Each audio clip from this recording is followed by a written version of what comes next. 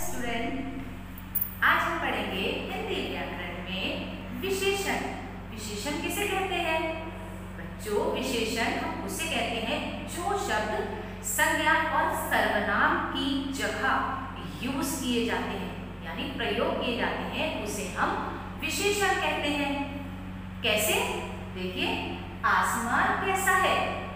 नीला फूल कैसे हैं चार आम कैसा है मीठा, अंगूर कितने हैं?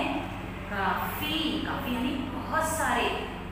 लड़की कैसी है? सुंदर। और घास कैसी है? हरी। गाय का रंग कैसा होता है? सफ़ेद। तो बेटा, ऐसे बहुत सारे आपके शब्द हैं जो विशेषण होते हैं।